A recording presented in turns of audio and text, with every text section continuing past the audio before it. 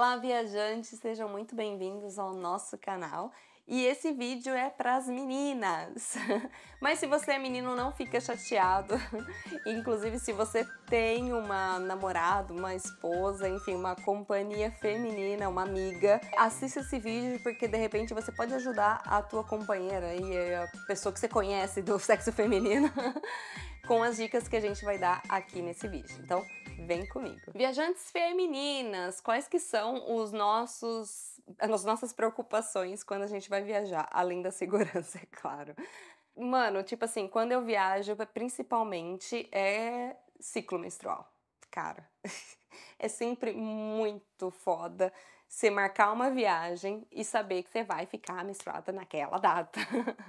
é um saco, você já começa a sofrer antes de partir mesmo, porque a gente sabe os motivos, né? Quem sofre com cólica e o lance, né, ter que ficar se trocando, tal, é sempre um caos, né? Vamos falar um pouquinho abertamente sobre isso, sobre viajantes, como que vocês lidam com problemas femininos. É, e eu vou falar como que eu lido e vocês, se vocês tiverem outras dicas, enfim, é tudo muito bem-vindo. Tem coisa, muita coisa que eu não sei, vocês escrevem aqui porque vocês me ajudam e ajudam outras viajantes também. Eu passei a utilizar e utilizo há anos, inclusive estou usando nesse momento, por isso que eu não vou ter aqui na mão para mostrar, é o copinho, né, o coletor menstrual. Para mim foi libertador porque eu tenho alergia a absorvente, não é qualquer absorvente que eu poderia usar, então sempre um problema. E eu acabei conhecendo o coletor menstrual e para mim, nossa, gente, mudou a minha vida. Juro que antes eu pensava assim, nossa, eu não vou me adaptar, o negócio é estranho de colocar, e de fato, no começo é complicado assim, até você aprender. Você coloca errado, vaza, até você se adaptar é meio chatinho. Mas foi assim, libertador total, porque quando você coloca certinho ele não vaza. Depende do, do seu ciclo, ele aguenta quase o dia inteiro, praticamente. Então, tipo, você se troca antes de, de sair pro rolê, depois você vai se trocar quando você volta para casa. Então é, é muito tranquilo mesmo. Fora que assim, né? Menos sujeira para o ambiente, não dá alergia. Você depois é só é, limpar, né? Esterilizar. Eu comprei, inclusive, pela Amazon mesmo, um potinho onde você esteriliza, você coloca ele dentro e coloca no micro-ondas com água tampadinho e ele esteriliza, então é maravilhoso assim. Para mim, não sei você se você usa coletor, escreve aqui. Outras coisas que eu sei que algumas pessoas usam é a, a calcinha. Confesso que eu nunca tive coragem de testar a calcinha que eles falam que segura realmente. Eu morro de medo que vaze, mas eu já vi várias meninas na internet falando que funciona. E aqui, se você tá aqui na Europa, se você for na Primark, eu sei que é um dos lugares mais baratos de você comprar essa calcinha para menstruação. Eu nunca usei, eu prefiro realmente usar o copo porque é muito rápido para lavar, né? Hum, você lava numa torneira, por exemplo, você precisa de uma pia para lavar, sabe? Ou no banho você consegue lavar.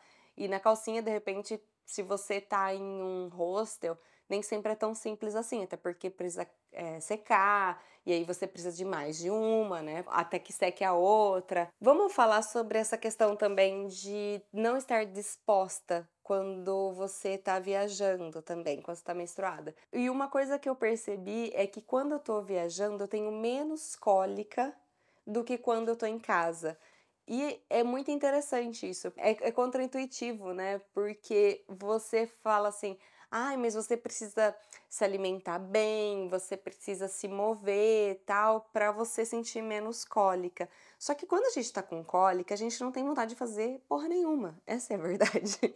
a gente tá com cólica, a gente só quer ficar quietinha, quentinha. Mas, por exemplo, teve uma vez que eu e o Mac a gente foi para Polônia e eu fiquei menstruada durante a, vi a viagem.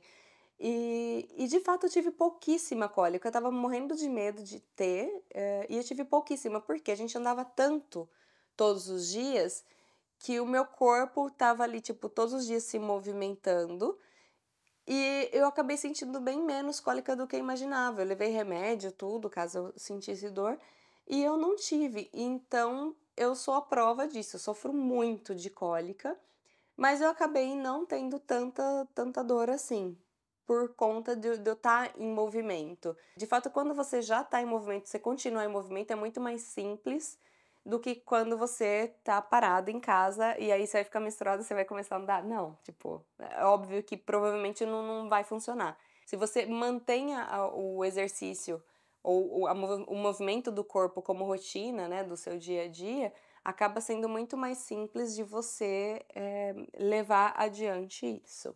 Outra coisa aqui, pra, falando agora, né, de higiene feminina, que eu carrego sempre comigo são lencinhos umedecidos, que eu acho que é essencial.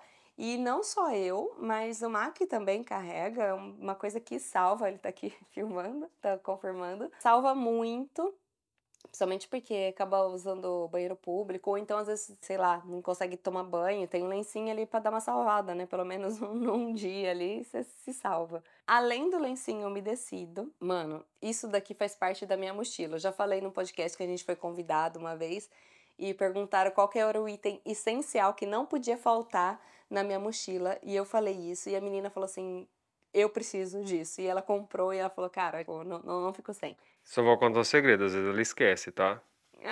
e se arrepende quando esquece. É verdade. Que é isso daqui.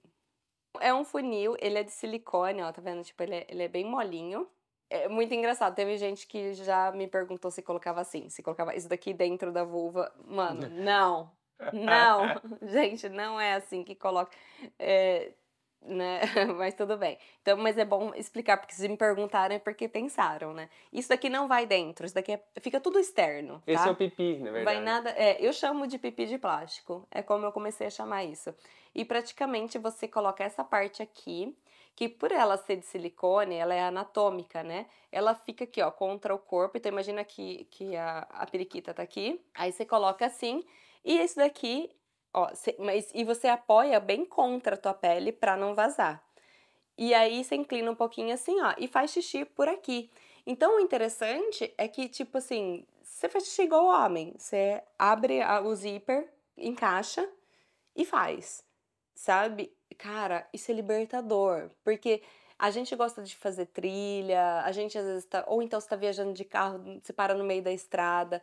Ou então, banheiro público nojento, sabe? Porque por mais que a gente não sente, tem que ficar naquela posição é, ingrata, né? De agachamento. E se você não, é muito, não tem as pernas muito treinadas, começa a tremer as pernas. é horrível. Isso quando não escorre xixi pelas pernas, mano. Então, só quem é mulher sabe o qual que é o terror de fazer xixi em lugar público. E realmente isso daqui me, me libertou, assim. É, é maravilhoso, né? É, é, muito legal a reação das meninas quando usa pela primeira vez. Lembra quando a francesa que a gente. A gente deu, acho que pra Eu ela. Eu dei, deu um de presente. Ela correu no banheiro mijar em pé. Ela queria mijar em pé. Cara, é, é, é libertador, é, é muito legal. Porque... Aí só vi ela dando risada no banheiro, né? Ela foi na casinha lá, daí mandou vir. Sim, sim, ela ficou dando risada. Tipo, e eu o que que eu fiz? É, que a gente fez, né? A gente comprou da China isso daqui, comprei um pacote cheio. Esse aqui presentear as pessoas. Tinha até mais, tá? Esse daqui não é usado, tá? Esse aqui é limpo. Eu comprei um pacote cheio para presentear as minhas amigas viajantes. Então, as minhas amigas que vêm aqui, inclusive a Ju, é, ela veio aqui me visitar, eu dei um pra ela de presente. E, gente, isso daqui é maravilhoso. Ela me falou, me escreveu também, ela falou assim, nossa, foi maravilhoso, que ela tava viajando pela Ásia, e ela falou assim, Manu, lá, tipo, tinha uns buracos só para fazer xixi, e ela ficava com muito receio, tipo, de agachar nesse buraco, ter bicho, de repente. E ela usou isso daqui. Aí vem, inclusive, vem a instrução, aqui tudo bonitinho e tal. Mas é basicamente isso como eu te falei. Tipo, Você precisa ter isso, um saquinho zip para pôr dentro. É. O lencinho umedecido ou água. É. Normalmente a gente joga que, um pouco d'água. É, o que, que eu faço? Eu, eu pego esse saquinho zip, coloco dentro, porque depois vai estar tá molhado, né? Mas pensa, é uso pessoal, gente. É, é teu. Tipo, não é nojento, é teu. E o que eu recomendo? Treine antes em casa, no chuveiro. Treina porque é, pode ser que vaze. Já aconteceu de vazar comigo, assim. Se, não, se você não colocar certinho, pode acontecer de você se mijar. Mas treina em casa que depois não tem erro, assim. Nossa, melhor coisa ever, assim, que eu, que eu comprei. E eu carrego uma garrafinha de água, então depois que eu faço xixi eu jogo uma aguinha. Em casa eu lavo com água e sabão. E um lencinho umedecido, papel higiênico pra você se enxugar. E tá, tá, tipo assim, perfeito, assim, perfeito. Você tem uma coisa a acrescentar, Mac? Não, não, é que eu observo a sua, eu só utilizo só. Entendeu? Eu não posso dizer porque eu tenho já um natural. É, mas é, é, é muito legal. E sabe o que é engraçado? Que, tipo, às vezes a gente tá viajando de moto e aí eu- é, a gente para, assim, tipo, no meio da pista pra, pra fazer xixi e, e aí a gente tá de capacete, roupa de moto, tudo. Então eu nem tiro, eu só abro a calça ali e faço, né? Aí eu falo pro Mac, mano, tipo, de costa, Não dá pra saber. não dá pra saber. As pessoas acham que é um homem mijando, você tá mijando de pé. Tipo, dá pra ver só a aguinha caindo, assim. O mais legal foi a última vez que a gente subiu na montanha lá, que eu tive que fazer. A gente tava caminhando na volta porque a gente distanciou da galera. Sim. Só que aí, a hora que você começou a mijar, aí começou a chegar as pessoas. Aí eu falo, o que, que eles vão pensar, né? A menina mijando em pé. É menina mediana. Aí, porque eles não tá de capacete, né? É, não, ali não. Ah, gente, mas é isso, tipo assim, eu você não. tá na montanha, no meio do mato, não tem o que fazer. E outra, mas eu não tô mostrando nada, entendeu? Tipo assim, você não tá. Eu acho que, inclusive, é até mais educado que homem, não dá com pinto pra fora, tipo. Não, não dá pra ver nada. É. Na hora que você, a hora que você tá utilizando, não dá pra ver absolutamente. Mesmo que a pessoa olhar e chegar de frente pra você, É, porque vê. o pipi tampa tudo, É, tá, né? Tipo. é só vê a aguinha saindo, vê nada. Eu, eu ia falar é pequenininho, mas acho que eu já vi menores. Aí que eu sou mãe pequena, hein? Espero que vocês tenham gostado desse. a gente dá- Pra dar risada também, mas enfim. Essa é alguma das dicas é, básicas que, que eu acho que, que servem. Mas também é, é uma abertura também de canal aqui para vocês, mulheres, falarem, né? O que, que vocês carregam aí na bolsa que para uso assim feminino durante as viagens que vocês acham que facilitam a vida. Ou dificuldades. É, ou O que dificuldades. você sofre, você não sabe como resolver. Às vezes a gente sabe. Exatamente. É, outra coisa que eu passei a comprar foi sutiã, é, não sutiã mais top, mais molinho, sabe? De algodão, porque realmente sutiã, mano, tipo, é muito ruim. Quem tem, tem peito pequeno é maravilhoso, né? Que, tipo, fica sem. Tipo, mano, 2023, né? Já tá na hora da gente poder... Ah, mas, aqui, mas aqui na Europa é sem. super comum. Até quem tenta É, é, de fato. peito aqui, grande aqui. aqui, os peitos, E os farol aceso, quase transparente, Peitiolas normal. livres aqui, maravilhoso. Acho maravilhoso, maravilhoso. Não tenho tanta coragem assim, não é sempre que eu consigo sair sem sutiã. Ainda estou me livrando disso.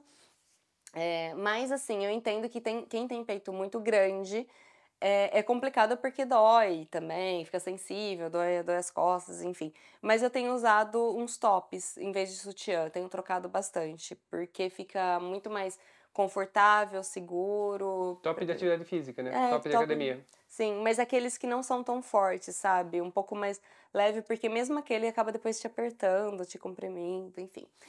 E é isso, esse foi um papo menina. Se vocês gostaram desse papo Luluzinho aqui, comenta aqui é, pra mim. Deixa seu comentário. Deixa seu comentário, já falei, né? É, comenta. é, Acho que ela quer que você comenta, não sei, um detalhe. Ai, gente, conversa comigo. Eu tive que gravar esse vídeo sozinha. É, Sim, mas eu falo só eu É, falar. Não, não, o assunto é seu. Deixa o seu like e se inscreve no canal caso você não tenha se inscrito ainda. Um beijo e até o próximo vídeo. Tchau!